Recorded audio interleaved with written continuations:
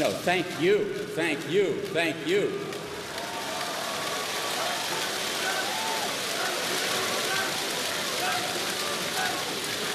This is, this is Rajavi, honored guests, and supporters of liberty and conscience here, who are therefore supporters of MEK. Ladies and gentlemen, this, this rally has many audiences around the world. The audience in this hall, of course, the residents of Camp Liberty, of course, the people of Iran, who I hope will see this rally broadcast. But for me, and I think for other, se several other Americans here, I think for us, the main audience is our own government. It's a sad day indeed when the target audience for a rally for freedom is the government of the nation that is supposed to stand for freedom. It has come to this that we have to preach the cause of freedom to the government that is supposed to protect freedom.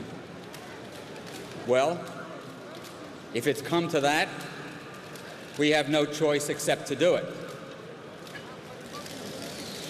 Our government, and in particular our military, made a solemn promise when we invaded Iraq in 2003 that if the residents of Ashraf gave up their weapons, their only means of self-defense, they would be treated as protected persons under the Geneva Convention. There is only one government in the world that has the power to make good on that promise, and that is the United States.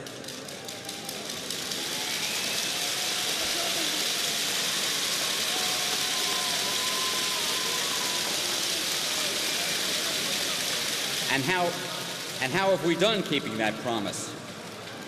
Two times, two separate times, when a United States Secretary of Defense was in country, the residents of Ashraf were attacked by the Iraqi army with weapons and with vehicles that had been provided by the United States. And what did we do about it? We did nothing. We kept MEK on a list of foreign terrorist organizations that it should never have been on in the first place. The State Department, under pressure from a lawsuit brought by MEK, got Ashraf to residents, got Ashraf residents to move to a camp with a misleading name, Camp Liberty. They moved on the false promise that being close to the airport somehow made them safer and that there was a plan to evacuate them in an emergency and then they were taken off the list. By the way, who said that?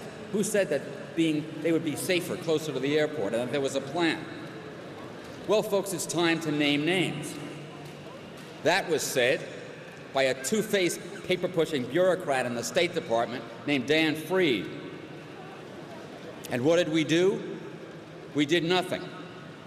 And in 2012, when residents of Ashraf remained behind with everybody's permission to safeguard that camp, they were attacked in what was clearly, by what was clearly a military force, and were, they were shot execution style with their hands tied behind their backs, such that a total of some 52 Ashraf residents have been murdered. And what did we do? Nothing.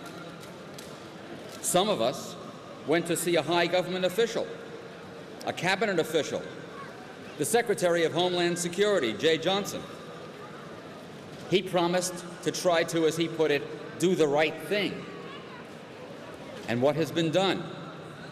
Well, that official, Jeh Johnson, sent representatives to Camp Liberty to interview the residents so they could be considered for transfer to the United States.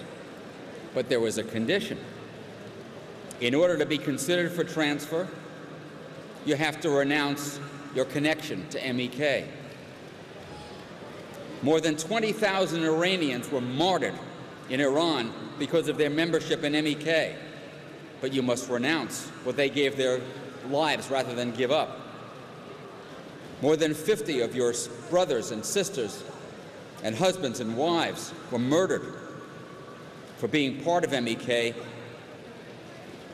but you have and you have been denied food and medical care because of your connection to MEK, but you have to renounce that. It seems like Mr. Johnson and his colleagues at DHS and the State Department and in the White House want to be able to say to the world, we kept our promise. We offered safety, but they would not take the promise. Then they would not renounce. So it's their fault, not ours. Ladies and gentlemen, you have to go back to the 17th century, to William Shakespeare, to find words in the English language that are adequate to describe that kind of treachery. Shakespeare described that behavior as keeping a promise to the ear, but breaking it to the heart. Well, I'm here to tell you that they're not going to get away with it.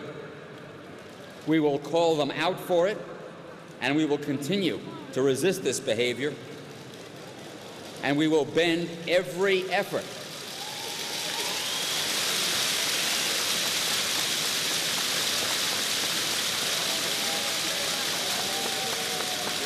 and this is specifically to the residents of Camp Liberty. We will, we will bend every effort to protect your safety as we promised to do, because in doing so, we will restore our honor, which we have to do. Thank you very much.